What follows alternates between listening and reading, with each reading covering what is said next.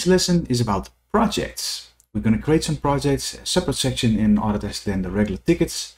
Uh, a lot of the functionality is the same for the tasks and the, and the tickets, they, they look similar. But a project is a separate bucket of how to work on, on, uh, a particular item.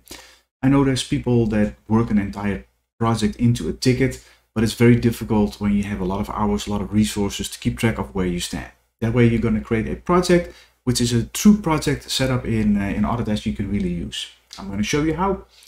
We're going to create one from scratch and then we're going to create one from a template. There's a way to have the plus sign on the top. There's a project and a project from template.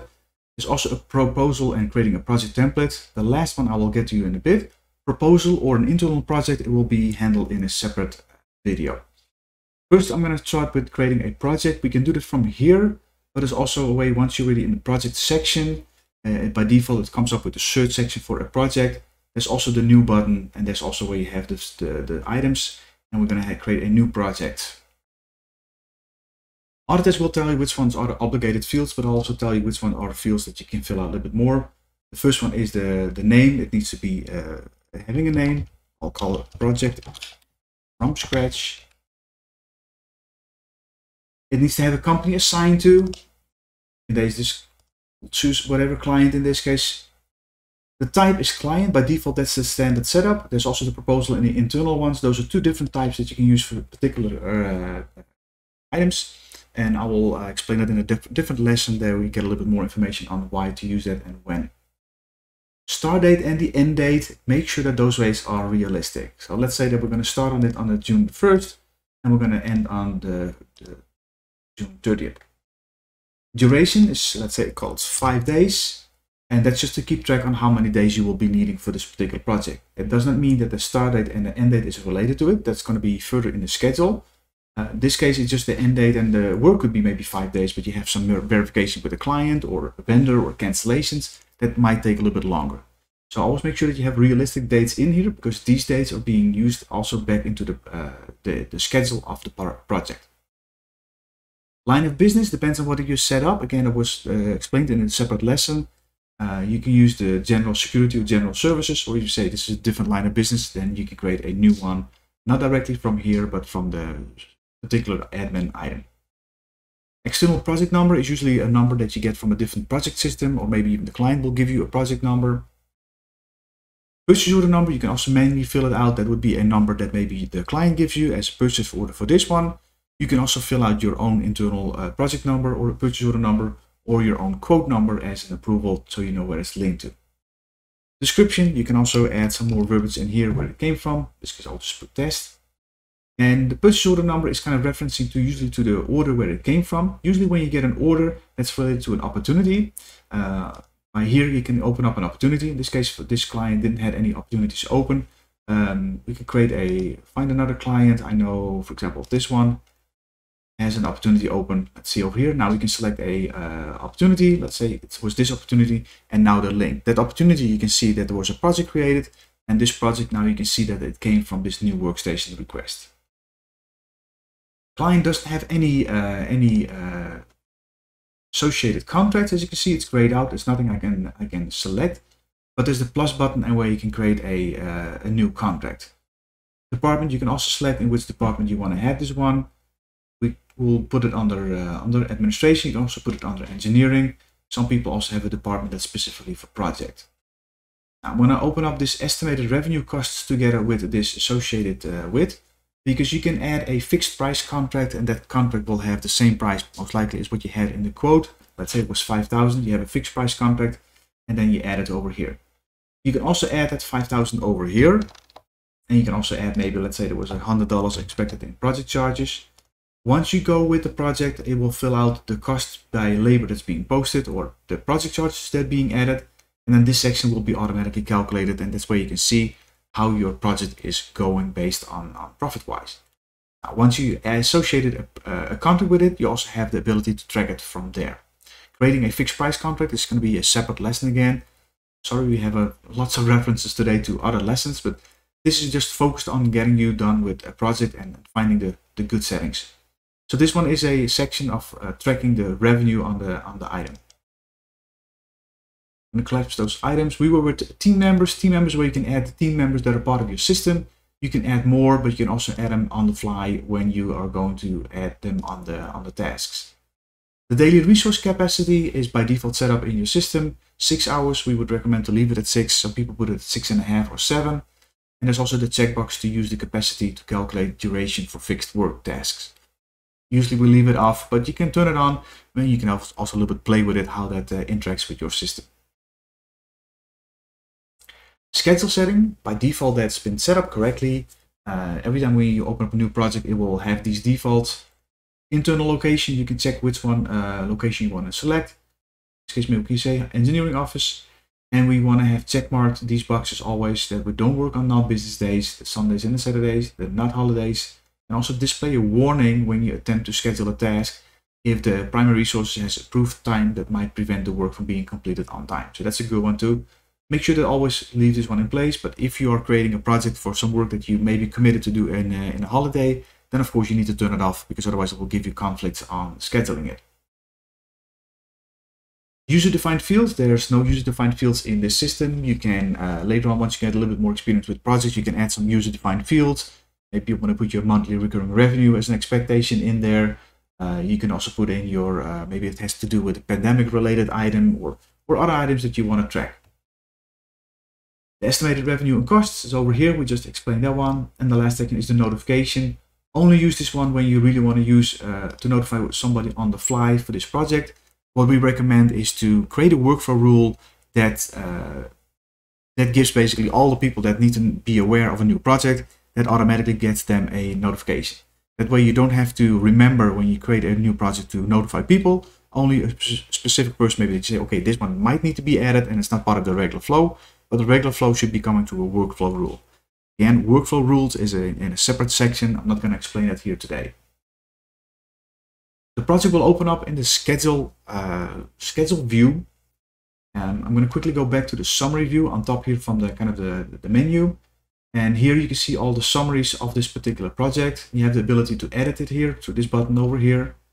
And as you can see here on the bottom, there's also a, a section about the progress now. There's also the buttons, you can collapse these ones and it makes you a little bit better visible. You need to collapse that one. And in this case, we're going to see the progress. As you can see, no hours uh, added, no actual hours, and those ones will be filled out once we go into the schedule. I'll show that all in a bit, and I'll get back to here. You can see how that all looks like. Here you also have the button to add new team member or a charge or an expense. That's all done from here. And you also have the tools box where you can complete the project, inactivate it, delete it. And sometimes you make a mistake. Don't worry, you can delete it from here once there's no uh, uh, activities really been posted, then you have the ability to still delete an entire project. You can also save it as a project template, which I'll get to you in a bit. You can do a report of what's due and you have the document merge. And again, some of those reports are also to be found over here. The team is where we can add team members to the system. The charges is where we can add charges to the system. Related tickets would be when there's a ticket for this particular client that is uh, causing the project. So a project can become uh, when you uh, do something from a particular quote, but it can also become from an issue that say, okay, I'm going to install a project and I'm going to fix that. You can associate a ticket with it. You can also here check this box, include completed tickets. Let's see if this client, yeah, client had some, some completed tickets. If you click on the hyperlink, it will open up the ticket. Once you want to select this one, click here in this, for example, the ticket title. Then it will show up here on the selected items. And once it's selected here, you can press save and close. Now, once this ticket has been added, and if there's hours booked, in this case there's zero hours booked, so that's good. But if there were hours booked on this particular uh, ticket, then those hours would also be uh, listed in the amount of hours used. This ticket came from a closed opportunity, and that's usually what uh, we make default when you have a ticket that's created from an opportunity, from a closed opportunity. We always link it manually uh, to the project so you have a good reference between the opportunity, going to the ticket, going to the project, and vice versa. The note section is where you can put all kinds of notes. Also, when you make changes to the project, the system by itself also records notes over here. You have a calendar. In this case, there's nothing in here, but you can press a new and you can create a new calendar item. Same kind of applies for attachments. Right now, there's nothing, but you can create a button from new. And you have the user-defined fields that I earlier spoke about. There's nothing here. And we have the related reports. There's a couple of reports that you can use. uh, once you have all kinds of uh, statuses and or tasks in the system, you can use what's due, daily status, schedule summary. And you kind of have to uh, play with these ones a little bit to make sure, okay, what is working for you? How can you get more grasp on the project? And some people even like to get the schedule and just to export it to Excel. So there's different ways of doing it. Now let me get back to the schedule because here's the actual uh, actual stuff being happening. Right now, there's nothing. What we recommend is to use phases. So in this case, we're going to create a new phase and we're just going to open up here in the schedule. So it's going to be easy to, to see. Let's call it uh, investigation. Try to make do the phase maybe in capital letters that it, uh, that it easily, easily stands out. Investigation will only be for, let's say, for the first week. Press save. Now we created a phase. Now we can say, okay, let's do a, uh, a task and these ones will all open up in this in this uh, in this screen.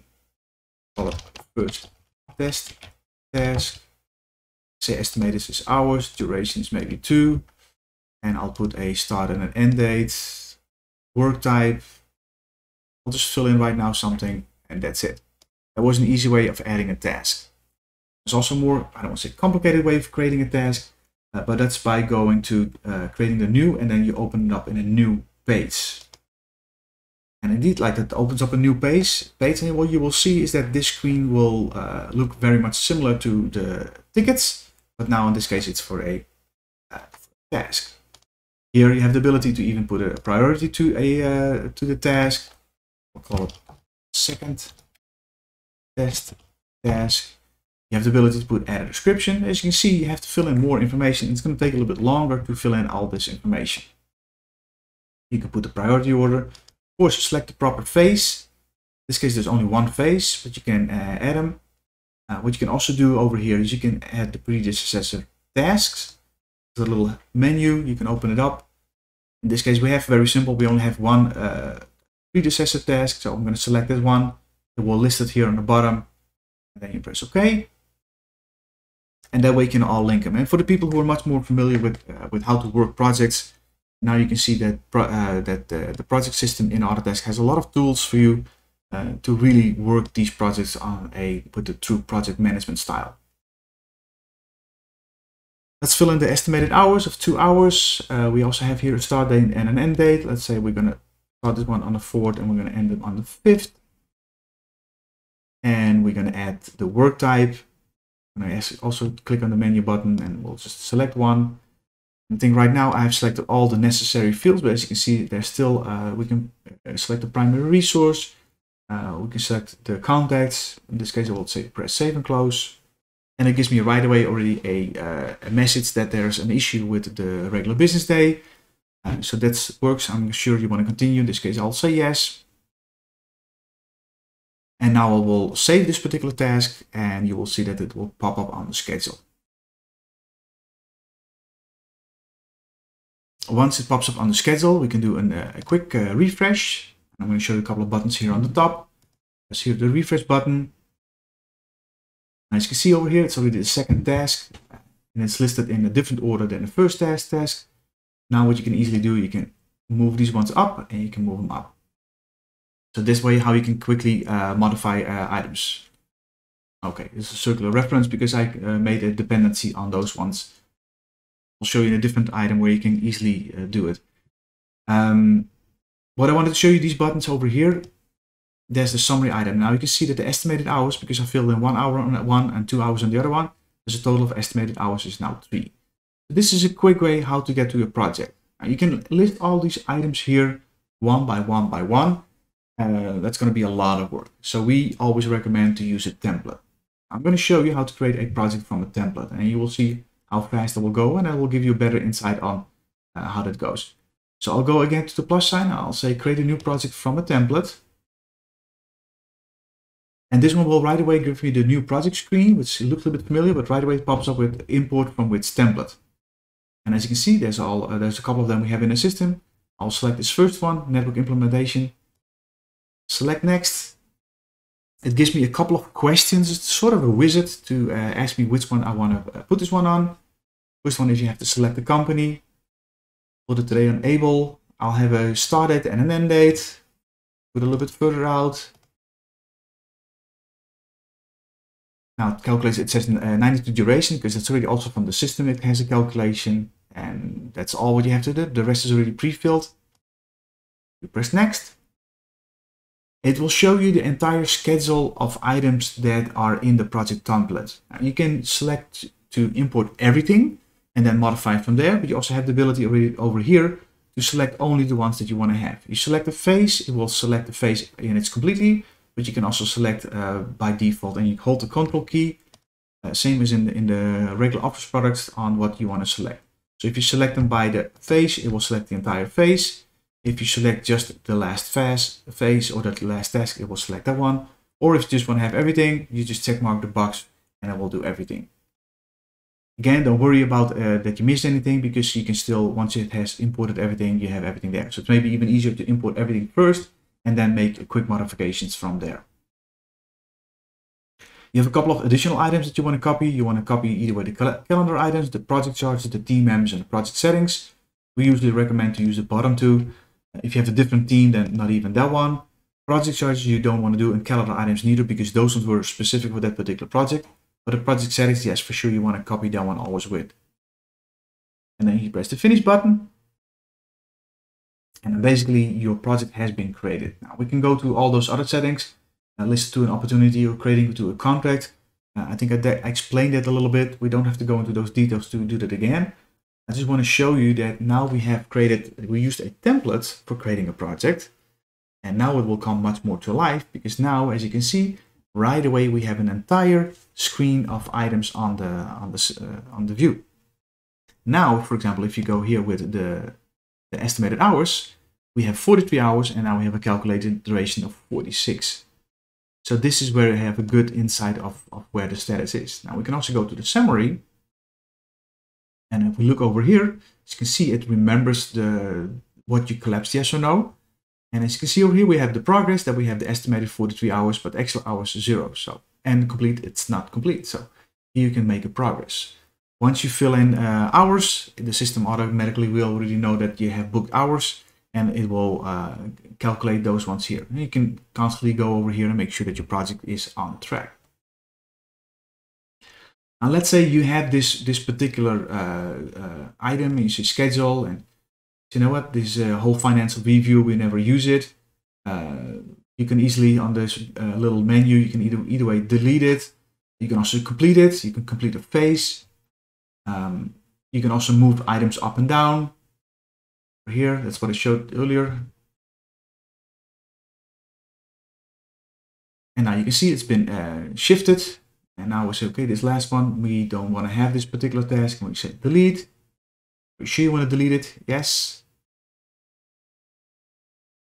Now you have a whole section of how to delete and, and update items. And I think somebody who knows a little bit more about project can easily do it. Now what is also a good button over here? There's a export button. And that will give you the same kind of sheet in Excel. And then sometimes you can a little bit modify quickly in Excel on what you want to try to accomplish. And there's, uh, then you can uh, quickly modify it here again. There's also the very uh, common Gantt charts functionality here. That's that button. And as you can see, that gives you a nice Gantt chart based on the calculations on the start date and the end date that we set. The system spreads out those particular tasks based on its duration. Again, for the project lovers on the list, this is one of the more uh, important items. And as you can see, uh, Autotask has also this one down. You can click back on the button and then you go back to the regular schedule. Let's say you go back to the summary and here now you have the tool and to save this one as a project template. So if you really like this project that you created or you have created a project uh, from scratch and you created a whole bunch of stuff and you have maybe 40 different line items, 40 different tasks, then here on the summary button, that's where you have the save as project template and save it. Um, you can always do that later, when, even when the project is completed, you can always go into a completed project and save that project as a template. And then later on, you can always pick that one back up and, uh, and save it. So don't worry, if as long as you have it as a project in the system, uh, you can get to it. And going back to the schedule, uh, there's a view, you can do the outline, you can do the phases, you can basically all uh, select it from where you want. Uh, you have a whole bunch of actions too that you can import it from a CSV file as well. Uh, usually that doesn't really work well, so it skips the phases, so we recommend not to use it, although we have the kind of the option. You can still import it from an Autotask template. So what you can do over there is that you have maybe uh, three different templates already. In this case, it this project is going to be having all those three things at the same time. You're going to create your project maybe by using the first template. And then once you have created them, you can use the import from this uh, Autotask template, and then you can add those other templates as well. Maybe I can even show you that I'm going to show this, for example, that one. And again, there's a whole bunch of stuff. I'm just going to select everything. Quickly going through it. And now what it will do, it will add the, all those items from the second template into this uh, first template. Now you have it all combined. So it's maybe a good way that you say you, you can even make some, some particular uh, project templates for maybe for a uh, an email server, an application server, a SQL server. And once you create a migration for a client, you just kind of pick the, the components that that particular client has. So now we have lots of lots of uh, items in here. What other exits do we have from this menu? We have uh, recalculate the project schedule. Let's see if we can click on it. And that will give you a little bit more uh, information. Is recalculating the project schedule may change the task, phase, and issue. You have set your project settings to schedule tasks and issues on regular business days. These settings will be respected. Are you sure you want to do this? It's maybe something that something that you want to maybe try out with a little bit uh, smaller project it can indeed uh, uh, calculate your project schedule based on available resources and uh, what you all put into the project. Start with a small project where you have uh, Autotask handle this recalculation. In this case, I'm going to say no. Um, and start with the, and make also sure that, that all your resources have their allocated time booked already on the calendar. Once you do that, it should be a pretty handy uh, feature for you. Again, also from here, you have edit project settings and also delete. If there's, in this case, there's no uh, hours booked on it, um, that's going to be a good one here too, because I don't see that column in here. So we're going to have also the column chooser here. I'm going to add a column that says, in this case, uh, we can do the actual hours. Add it as a column.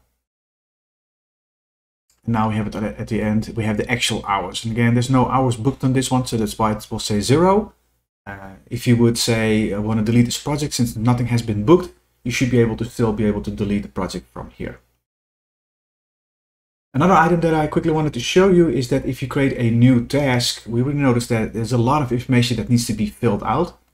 There's a quicker and easier way to get to that as well, because you can use a speed code. Over here, there's a speed code, and I created already one in my personal uh, forms, and the forms is a separate lesson. Uh, but here's a test, a task preparation, and I created a form with a lot of pre-filled information. As you can see right now, it's all being filled out um, the, the status, the priority, the title. Uh, you can even do the checklist if you have those ones. Again, that's something that's been uh, explained further on in a, in a different lesson, the checklist. And you can see all the information has already been filled out. So you can create a whole bunch of default forms as well, and that's how you can create a task as well. And then you can press save and close, and now you have another task added to this particular project. I think this uh, concludes everything uh, on projects. Sorry for the long, uh, long lesson, long video but it gives you a good overview. Again, if you have questions, there's always the Autotask help file that you can have. And if you have questions on more details on our videos, please go to our private Facebook group and leave a comment over there. Thank you.